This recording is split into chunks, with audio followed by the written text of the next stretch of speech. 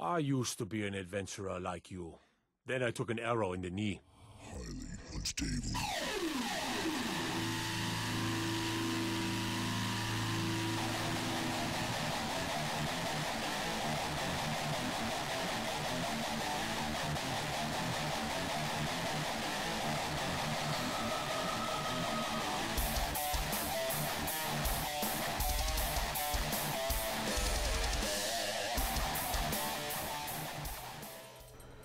Okay guys, in this tutorial we are going to create a custom weapons storage rack. Now, I have a mesh that I made here. This is a single mesh, but if you want to make it, we're going to make it from vanilla assets so you don't have to actually make the mesh as a mesh mashup. So the first thing we're going to do is we're going to click on activator. And we're going to click on weapon. We're going to type in weapon rack. And you are going to want the I believe it's that one preview. Yep. You're going to want this one. So we're going to open that up right there but we don't want this as an activator so we're going to have to make it as, as a static and I'm going to clear my filter and I'll just use any static here. And this is going to be I'm going to make this a weapon rack mid. Now I'll just make you can use any static item for this so what you want to do is is you want to go ahead and click here select all in the model tab here and copy this. We don't need that no more, so we're going to go ahead and bring up our, go to our static here and click on edit. And then in the model file name, we're going to click on edit again. Now, what you're going to want to do is go into your Skyrim data folder. Data, data, data, who cares? Click on meshes so it says look in meshes. And all we're going to do is paste this in right here. And that may that will use the vanilla one. So we're going to make a new form right there. And we're going to turn on our snap to grid. And that is right there. So we're going to pull that in right there. Now we need the end cap, so we're going to type in weapon, rack, and then and it will come right up, weapon, rack, end cap. And this is just a vanilla one, so we will go ahead and put that in just like that. And we're going to duplicate this one Now, it may do something a little crazy like that. That's not a big deal. We'll just go ahead and delete this one.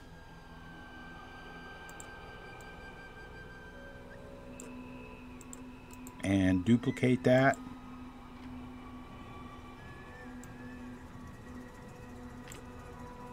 And do it again. You could do as many of these as you want. You can like have a whole line of them. I'm just going to do um, four of them, I think. Because there's four different kinds of weapons I'm going to use right there. So I'm going to take that and I'm going to duplicate this end cap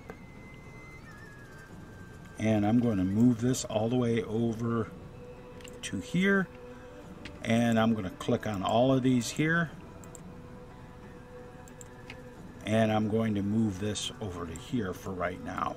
Now that's a complete static weapons rack it has no activators nothing like that. So that's good.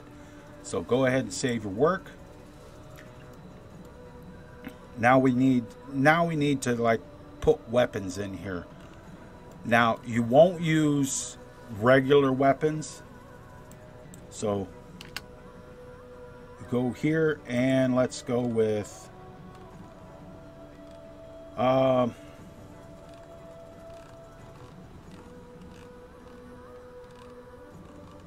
let's go with our um, iron.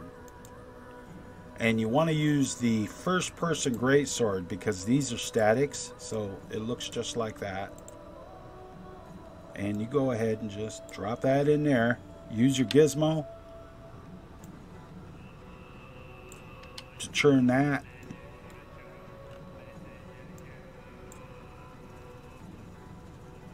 And move that out a little bit. Um, if it doesn't really want to go in there correctly, you can go ahead and turn your snap to grid off and use your gizmos just to move it out. And I would say it probably would have to go down a little bit. Down just a little bit. Or maybe actually up.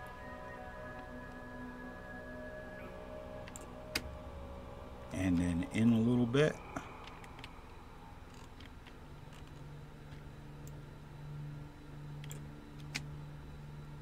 And then that will be okay right there.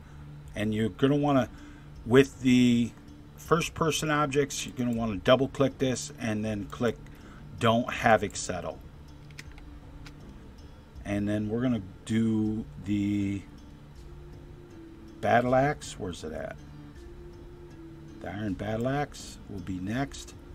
Actually, what you can do is just take this and duplicate it and do a search and replace and then just find your battle axe right here and it's upside down Okay, well that's not that's not a big deal. We'll just go ahead and take our gizmo.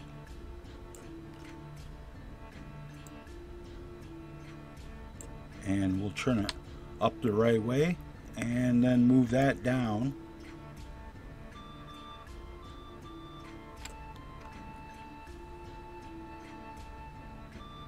And just over a little bit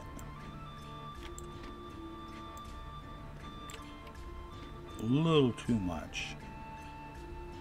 It's a little touchy.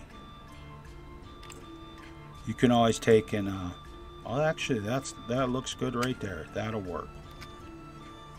And then we'll go ahead and duplicate that. And now we'll put in, oh, we're going to put in the Warhammer. And that actually is pretty good. We just have to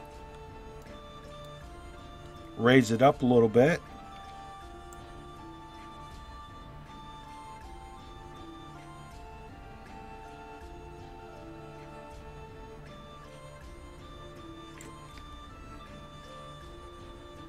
like that and then we're going to duplicate that and put a put in an iron sword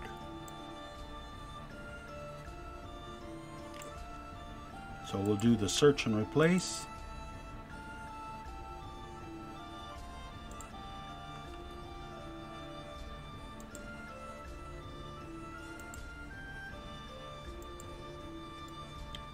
and that actually has the um, scabbard on it, but that's all right. So what we're going to do is, is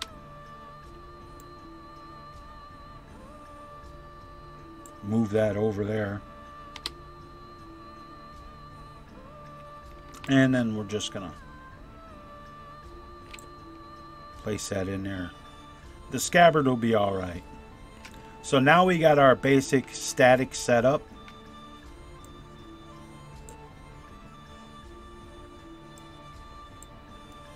Now we need to make our containers. Now we're going to make invisible containers. So we're going to click on this over here. And this is a the weapons rack activator. we can just slide that off to the side and we're going to go to our containers and you need an empty container so uh, let's go with player. And you want to get the player house chest and change the ID this will be 000 M9 you know whatever ID you want.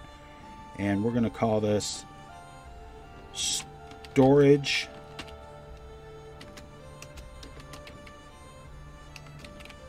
Great sword 01 and then we're going to go and put the name we're going to name it storage great sword great swords.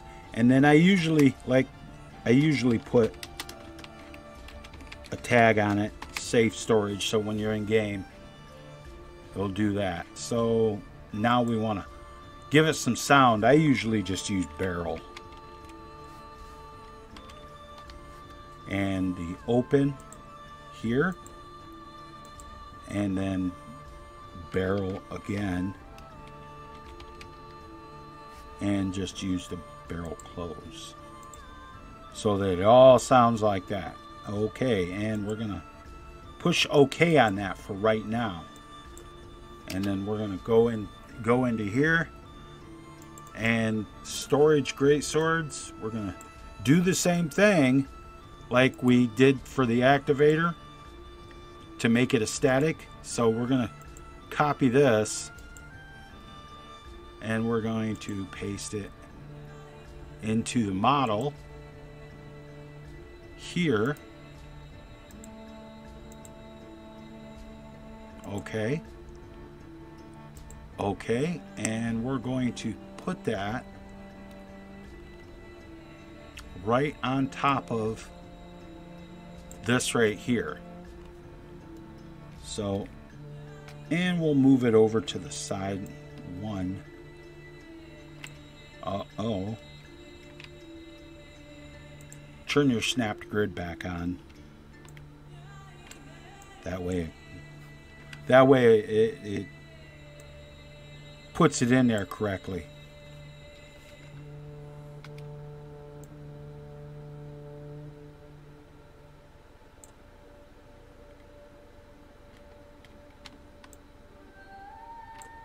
That's pretty close. So now we're going to take and we're going to duplicate, open this up and we're going to duplicate this and put battle axe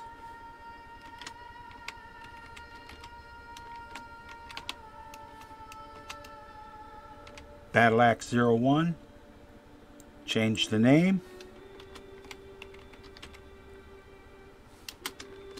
Battle Axes. And OK, make a new form. And then we're going to take this and duplicate this. And we're going to move that over to the side, do a search and replace.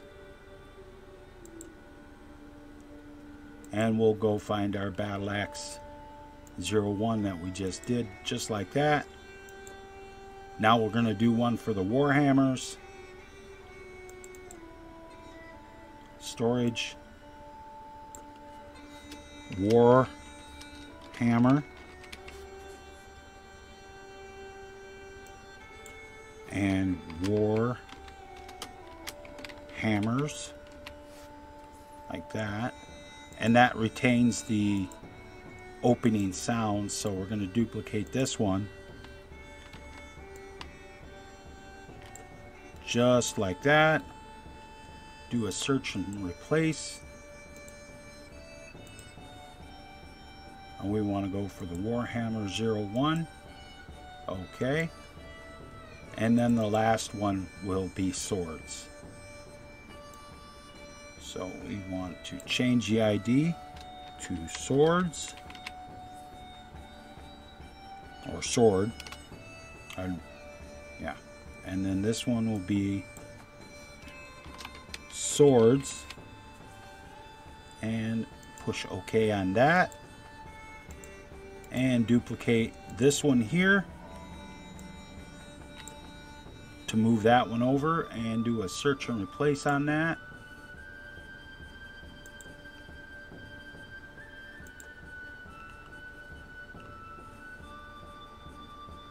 Sword 01, yeah, that's good. And that's good there. Now, that's ready to go, but if you want to, like, even it all up, just take and go ahead and do that. Click your snapped grid off.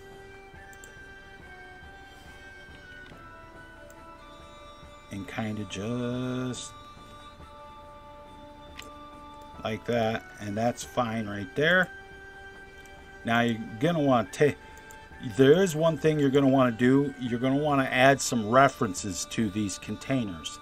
So click on View, go to ref, Reference Batch Action window, and you want to go down to the Set Location Ref Type, and down here where it says Local Ref Type, open that up, and you type in House, and put the house container ref type on it and do like that. And what you do is is you push F5 and it will refresh the window and you'll see these markers will appear right up there. So that looks good. Uh, we're gonna go ahead and copy all of that and go into my test cell.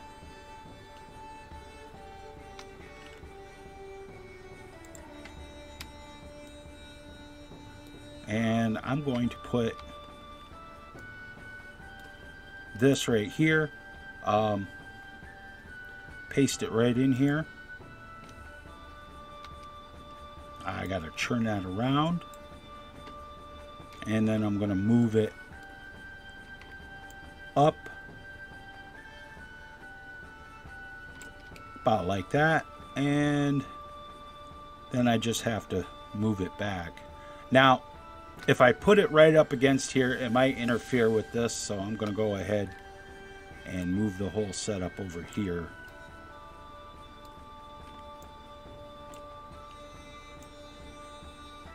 If you want to, go ahead and turn off markers. That'll make it easier. Just tap, tap your M key and then move it back against the wall.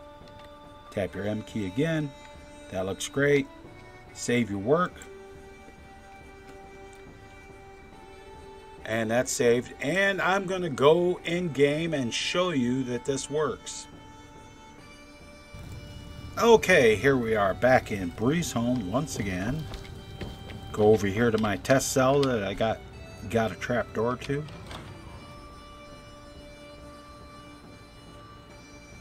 And here we are in my test cell. Mannequin looks good. All the other stuff I did and we have this. These are containers. We can open these up. Sounds are correct. Just like that. We can put we can put uh, whatever you know if we want to put all great swords in it it's fine but uh, you can put anything in here if you want to like uh, you know, if you, I got some clothes I want to stick in here, open this up and it'll have the clothes in it. And that is all static objects. They won't move. Even if you shout at them, which I can't shout with this character right yet. So, and they use uh, the vanilla textures, but it will use whatever textures you have installed so that it fits in with your game. Alright guys, that's going to be it for this tutorial.